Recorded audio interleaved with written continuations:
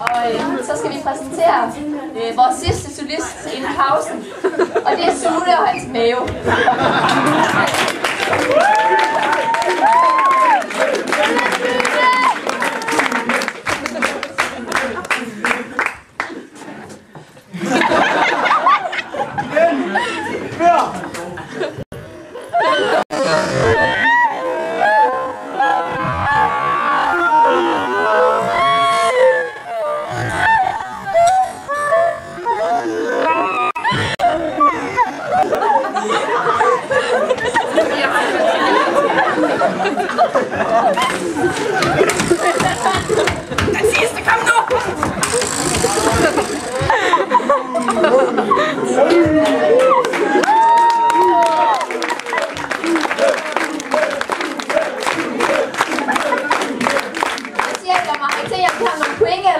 Han bliver altid ud.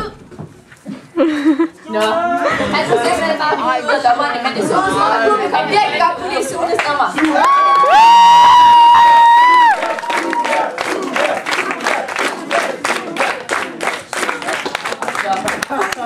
øh, men det var øh, den sidste solist inden pausen, så øh, nu er der øh, kampagepause, og Helle vil sige noget. Nej,